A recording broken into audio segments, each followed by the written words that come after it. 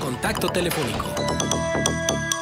Tenemos el gusto de contar en esta mañana con la presencia del consejero electoral Gustavo Espinosa y con él vamos a platicar sobre lo que dice la ley electoral en el tema de sustitución de candidatos. Bueno, este es un tema que está en boga, hay muchos comentarios, si se puede, si no se puede, si es una traición, si es un engaño, si es una simulación, etcétera, etcétera. Pero mejor apeguémonos a lo que dice la ley y realmente hasta dónde da la ley para que se puedan tener este tipo de circunstancias y situaciones. Los ejemplos, pues usted los conoce muy bien. Así es que, eh, pues al consejero electoral le damos las gracias. Gustavo, muchas gracias por estar con nosotros. Manuel Cerrato, Arturo González, juntos hacemos este espacio de contextos. Marcela, muy buen, muy buen día. Muchas gracias por la, invitación. Arturo, Manuel, encantado de estar con ustedes. Muy buen día. Gracias. Gracias, buenos días. Gustavo, vamos a pegarnos entonces a lo que dice el librito, a lo que dice la ley. O sea, ¿qué se puede y qué no se puede en materia de sustitución de candidatos? Sí, Marcela, mira, bueno, la, la, ley es clara, eh, realmente es un tema eh, simple, no, no hay complejidad al respecto. Eh, los partidos políticos pueden realizar sustitución de candidatos en cualquier momento de la etapa del proceso cuando haya ausencia de este. Esto puede ser ya sea por renuncia o por o, simplemente porque hay ausencia de él, no por algún fallecimiento o, como lo digo por alguna renuncia. El partido que haya postulado este candidato tendrá el derecho de sustituirlo. Es importante comentar que en caso de que eso suceda y, que las boletas electorales ya hayan sido impresas, el nombre que aparecerá en la boleta es el del candidato que haya sido eh, postulado originalmente. O sea, está, está clarísimo, no hay mucho por dónde darle la vuelta. Ahora, eh, ¿cuáles son las condiciones, por ejemplo, de cómo se presentan en las boletas electorales? ¿Tiene que venir el nombre completo del candidato? Eh, porque tengo entendido que hay la posibilidad inclusive de que se registren como hasta con el apodo. Es correcto, Marcela. Eh, mira, se tiene que poner forzosamente el nombre completo del, del candidato o candidata. Sin embargo, la ley, la legislación permite que eh, se pueda imprimir en la boleta debajo del nombre el apodo del candidato o candidata. Entonces, en este caso, si, si existe alguna candidatura que, eh, que quiera que en el nombre, en la boleta, que en el recuadro donde aparece el logo de su partido y de y, su nombre, eh, abajo de este podrá figurar el apodo o, el nombre con que identifiquen a este candidato. Entonces, esto es posible. Eh, eh, y, bueno, lo, el comentario también es porque el día de ayer, en la sesión del Comité Municipal de Torreón, se aprobó la candidatura de, del Partido Morena, en donde el candidato eh, que solicitó el registro solicitó también que, en el sobrenombre, es decir, abajo de su nombre completo, aparezca eh, solamente eh, pues una versión, digamos, corta de este para quedar como Luis Fernando Salazar. Entonces, esto es posible, la ley lo permite y es así para todas las candidaturas. ¿Qué tal, Gustavo? Buenos días, les saludo con mucho gusto. Eh, quiero preguntarle sobre el tema de, de la selección de los candidatos que sustituyen a quienes no pudieron registrarse. Eh, no, no hay eh, una, una, una organización, digamos, que le exija a los partidos que así como tuvieron un, método de selección de un candidato, en el caso de los sustitutos sea igual para evitar este tipo de situaciones. Sí, mira, Arturo, eh, muy interesante la pregunta. Si, si me permites, antes de responderla, me gustaría recordar cómo fue que surgió este, eh, eh, o cuáles son los antecedentes que se han dado en el tema de sustituciones de, candidaturas.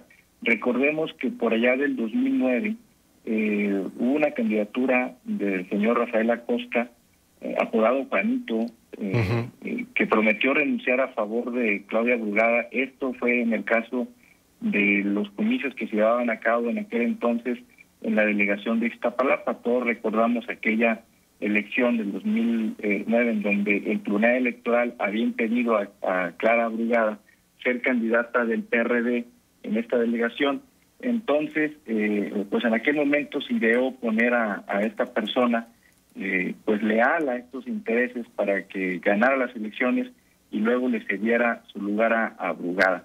Ese era el trato, el trato era que eh, estaría eh, Rafael Acosta apodado Juanito en la boleta electoral y una vez que ganara la, alcaldía, la, delegación de Iztapalapa, pues daría su paso o renunciaría para eh, dar paso a, Clara Brugada.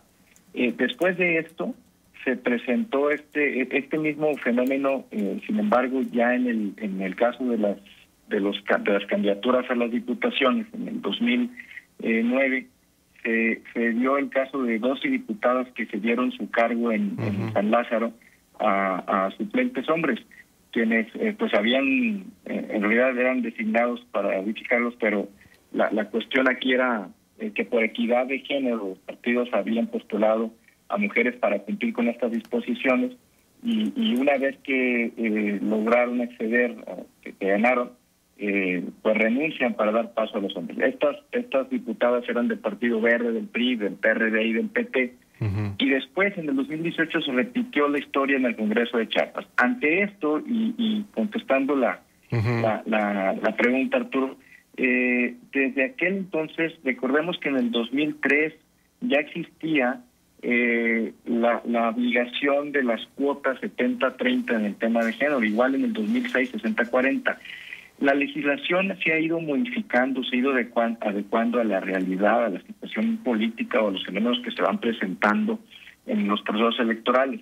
Después de esta situación, historia que les platico del 2009, con el caso de, la delegación de Iztapalapa y con el caso de las 12 diputadas que renunciaron para dejar su caso a hombres, eh, la ley se modificó de tal manera que eh, se obligó a que las suplencias fueran del mismo género. Recordemos que a partir de ese momento fue que eh, las, las fórmulas para que se postulaban para acceder a cargos de diputaciones eh, tendrían que ser del mismo género. Ya para el 2012 se eh, obligó a que fueran 50-50, ya la regla de paridad, y en, ya para el 2017 también en el Instituto Electoral de Coahuila se acordaron lineamientos de paridad en donde se garantizaba eh, paridad vertical, paridad horizontal por bloques de competitividad y, de igual manera eh, en, donde las suplencias fueran del, mismo género, salvo que el propietario fuera hombre, ahí sí podía ser mujer.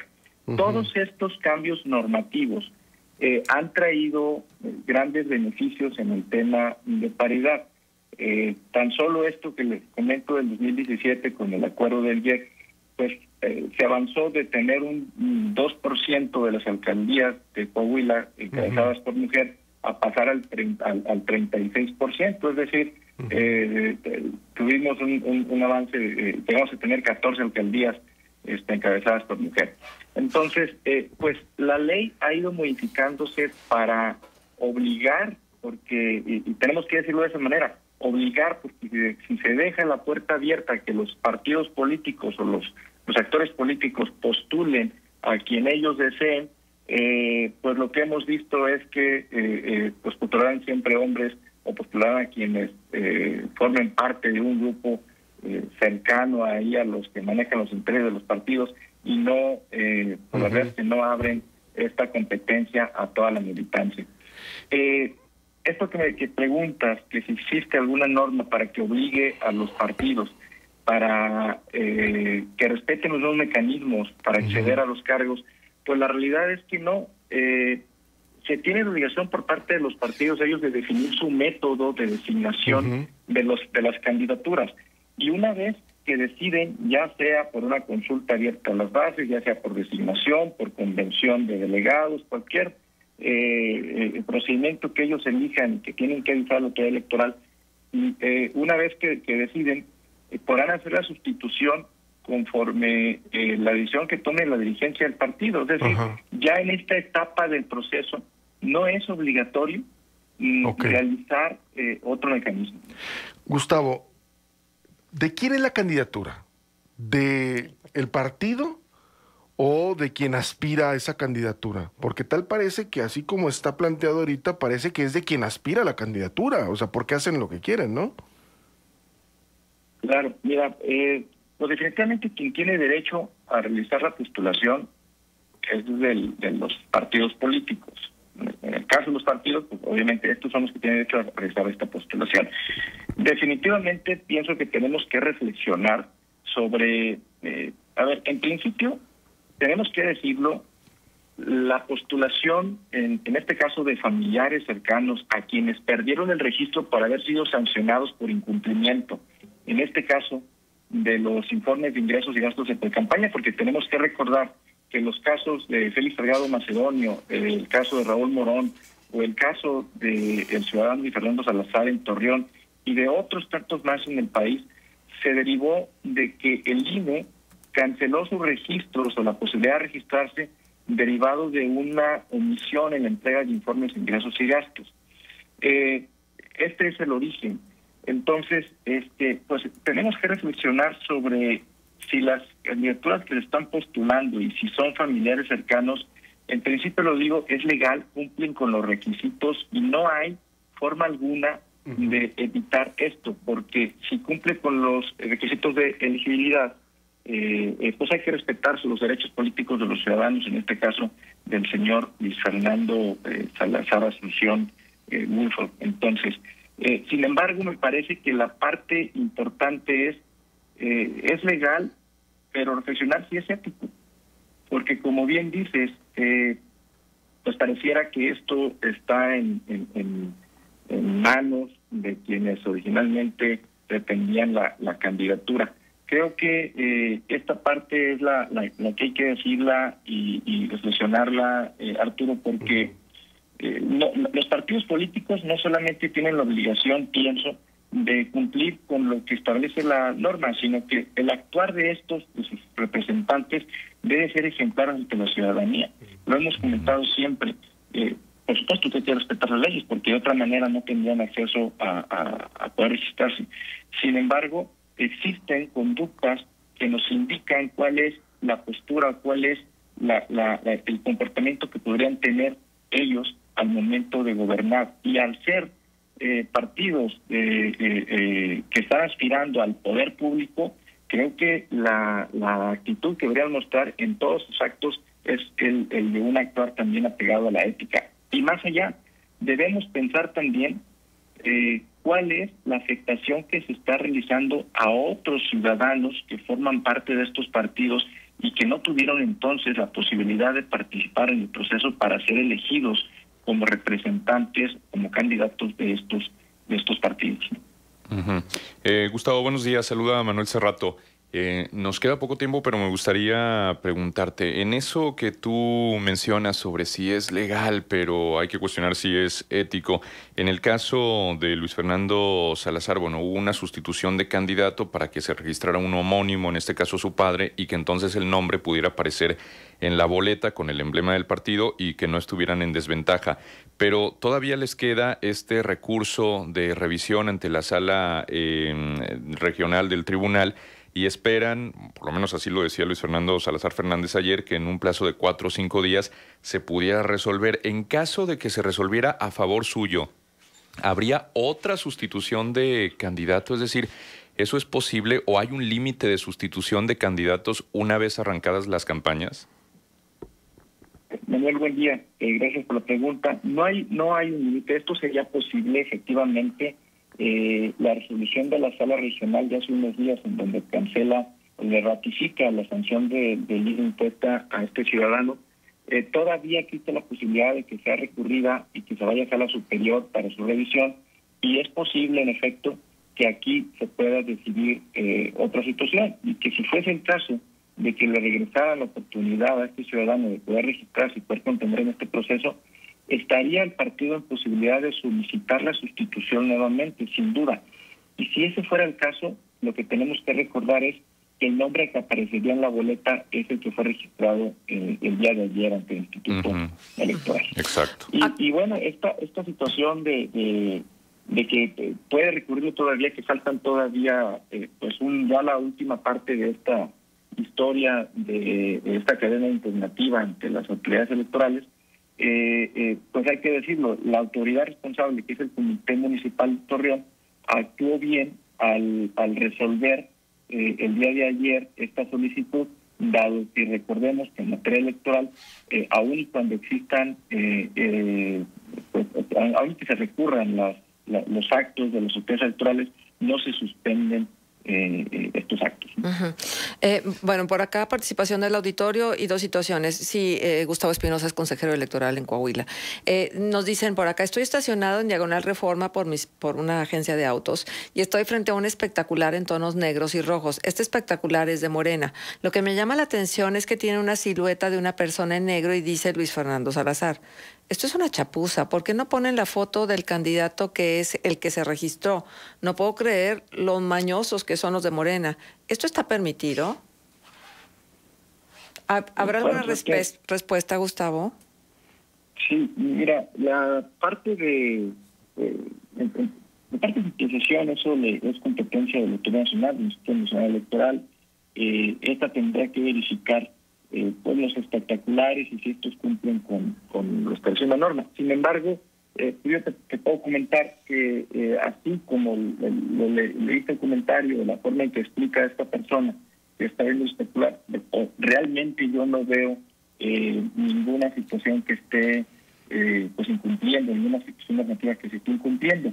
Es este, pues no hay forma, aunque todos sabemos y esto, eh, Marcela, de verdad, eh, yo no me canso de decirlo, la manera en que los partidos políticos y los actores, y, esto es en general, de todos los partidos estamos acostumbrados a siempre eh, ver cómo tratan de eh, darle la vuelta. Lo, hemos visto en el tema de paridad.